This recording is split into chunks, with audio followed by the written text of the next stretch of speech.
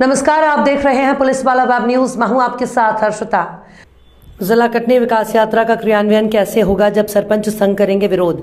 मध्य प्रदेश जिला कटनी की जनपद पंचायत ढीमर खेड़ा में मध्य प्रदेश की भारतीय जनता पार्टी सरकार अपने विकास को लेकर 5 फरवरी से विकास यात्रा गाँव गाँव निकालने जा रही है, जिसके लिए प्रशासनिक अमला तैयार करने में जुटा हुआ है। लेकिन सवाल यह है कि मध्य प्रदेश सरकार की विकास यात्रा का क्रियान्वयन सफल कैसे होगा? क्योंकि जनपद पंचायत ढीमरखेड़ा के समस्त ग्राम पंचायत के सरपंच विकास यात्रा का स्वागत नहीं, बल्कि उस विकास यात्रा का विरोध करेंगे। इसके लिए जनपद पंचायत ढीमरखेड़ा में मंगलवार को सरपंच फोरम की बैठक आयोजित की गई।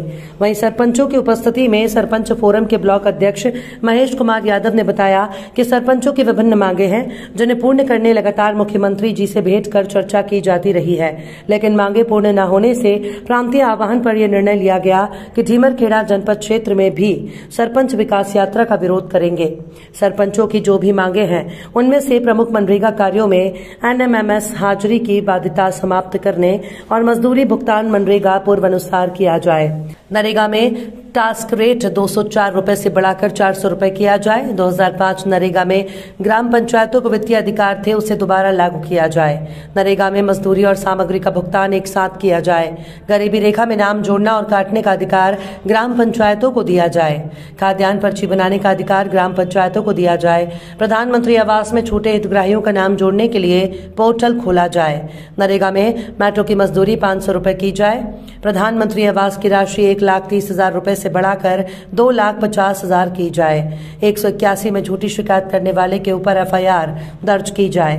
मुख्यमंत्री जी की घोषणा के अनुरूप सरपंचों का मानदेय चार हज़ार दो सौ पचास रूपए हर महीने में सरपंचों के खाते में डाला जाए। मजदूरी को कार्य के मूल्यांकन की मात्रा के अनुसार भुगतान का अधिकार ग्राम पंचायत को होना चाहिए और 25 लाख तक कार्यों की तकनीकी स्वीकृति जनपद लेवल के लिए की जाए।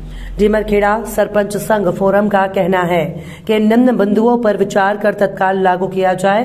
विचार न करने की स्थिति में पाँच फरवरी से निकलने वाली विकास यात्रा का हम सभी ग्राम पंचायत कार्यालय में ताला डालकर विरोध करेंगे जिसकी संपूर्ण ज़िम्मेदारी शासन और प्रशासन की होगी। किस संबंध में ज्ञापन सौंपा गया है? हम लोग जो केंद्र सरकार ने एन एम एम एस के ऑनलाइन हाजिरी का जो सिस्टम लागू किया है, उसके विरोध में आज ज्ञापन दिया गया है। इसमें हमारी अठारह सूत्री मांगे हैं, जिसमें हमारे सरपंचों का मानदेय, मजदूरों की जो मजदूरी दो सौ चार रुपये मनरेगा मिलती है, उसको कम से कम इतनी मजदूरी दी जाए कि वो कम से कम वो उसका परिवार पल सके, चार सौ रुपया किया जाए।